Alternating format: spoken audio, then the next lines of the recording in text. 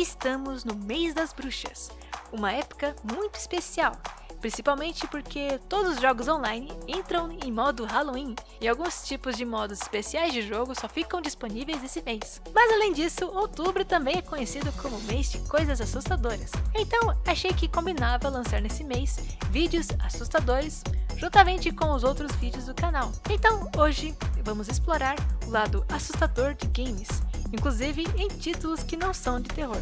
Todo jogo pode ter um segredo assustador que poucas pessoas conhecem. E se você gostou do tema desse vídeo, já deixe seu like, mas logo no início para não esquecer no final. E não esqueça de compartilhar. E peço também que deixe aqui seu comentário. Se inscreva caso ainda não seja inscrito e ative o sininho para receber as notificações do canal. Isso me ajuda muito, pois só assim, com a ajuda de vocês, a Quasar Jogos pode chegar a 500 mil inscritos. A Quasar Jogos foi um dos canais selecionados para testar a versão beta de uma nova funcionalidade do YouTube chamada Valeu Demais. Este novo botão, que pode ser encontrado abaixo do vídeo, permite que você, caso goste do vídeo, clique no Valeu Demais. Então, gostou do vídeo? Clique no botão Valeu Demais para apoiá-lo e ajudar a Quasar Jogos. E recentemente foi adicionado aos vídeos da Quasar Jogos um novo botão chamado Clip. E o que este botão faz? É bem interessante. Ele permite que você separe um trecho de alguns segundos do vídeo para poder assistir depois, ou compartilhar para seus amigos que podem assistir exatamente o momento que você achou mais legal do vídeo.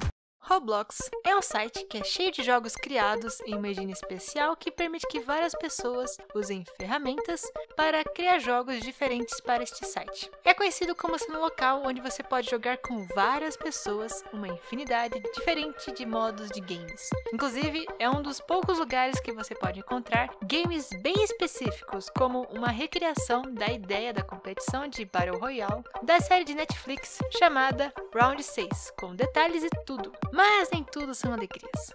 Existe um lado de terror, já que ele possui um easter egg assustador e completamente inesperado para o visual e clima normal dos games encontrados nesse site, que é um vídeo de um palhaço medonho que pode aparecer na sua tela para te dar um susto. Para ele aparecer, você deve escrever interrogação I love you no chat e então um GIF de um palhaço irá aparecer na sua tela. Contudo, para este comando funcionar, você deveria jogar em um game de Roblox que tivesse Adonis Admin ativado. Este sendo uma ferramenta que permite que você modifique certas configurações do servidor em tempo real. Hoje em dia parece que este comando especial foi removido, mas na época este comando era usado por jogadores para trollar outros jogadores. Eles incentivavam eles a digitar isso no chat e levar um susto, o que é uma grande pegadinha e um lembrete para nunca dar aos seus jogadores um comando que possa ser abusado assim.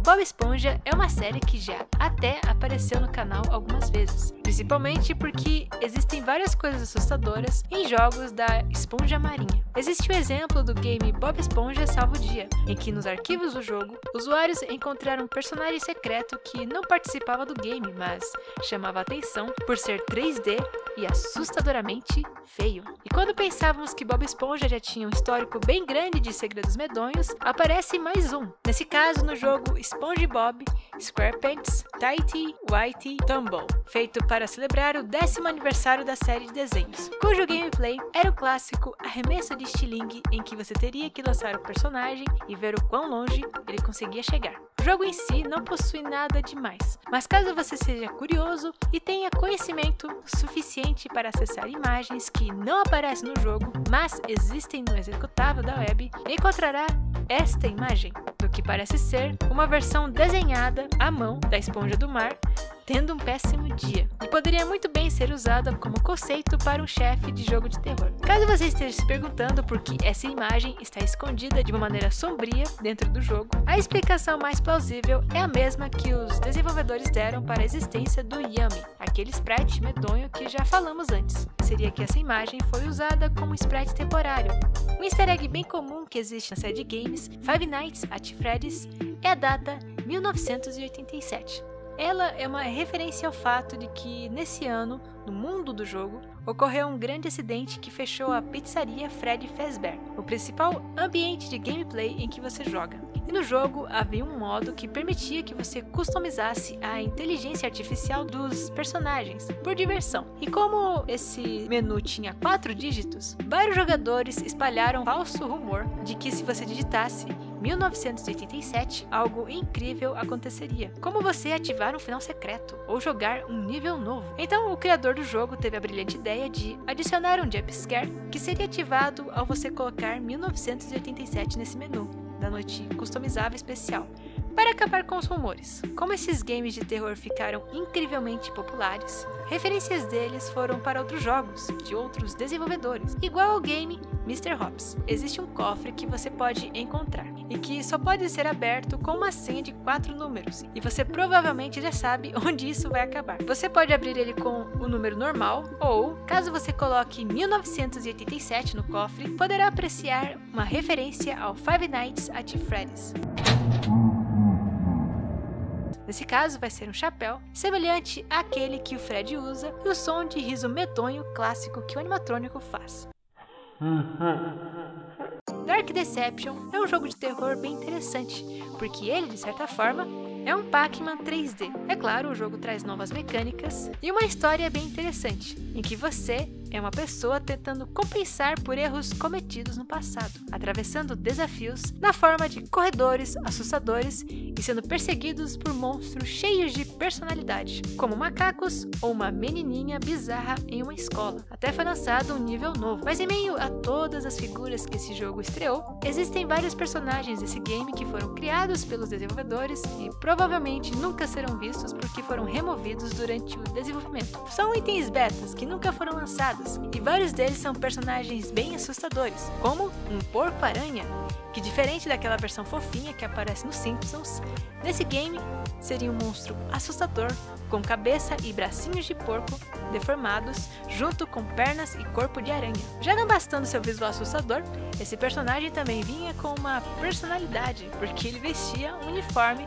de segurança. Não se sabe onde este personagem seria usado. Entretanto, os desenvolvedores pensaram bastante nessa ideia de seguranças, porque existe um outro personagem que é um abutre que também usa roupas do tipo. Os dois, sem dúvida, foram feitos para aparecer no mesmo nível. Uma outra criatura que poderia ter aparecido no jogo é Penny, uma panda que parece um animatrônico que usa um vestido de balé rosa. Este personagem teria duas apresentações. Uma primeira em que ela tem essa aparência de fantasia de mascote e outra em que vários artefatos robóticos ficam expostos na sua pele, fazendo aparecer ainda mais com o animatrônico de FNAF. Também existem outras ideias que nem têm conceito de arte, então nem sabemos como seriam, como a possibilidade de que haveria no jogo um nível com barata. Uma outra ideia que não foi implementada era de que Dolly apareceria no game, Agora não o Dolly que você provavelmente está pensando, mas uma boneca chamada Dolly.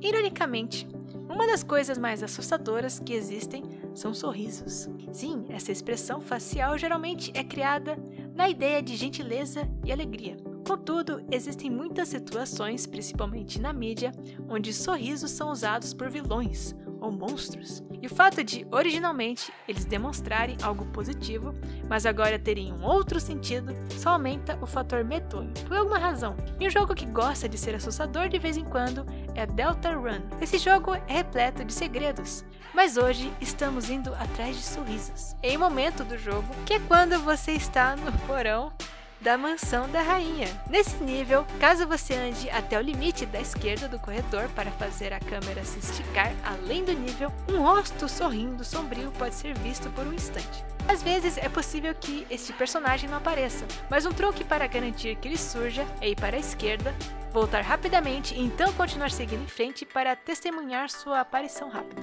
Mas o que faz esse personagem ser interessante é que ninguém sabe quem ele é. A única informação que temos acessível é que o sprite desse personagem se chama Sorriso de um Amigo em inglês, o que talvez seja reconfortante, mas não muda o fato de que ele é alguém que fica te espionando enquanto você não está olhando. E não acaba por aqui. Existe outra referência ao sorriso que lembra este personagem em outro lugar.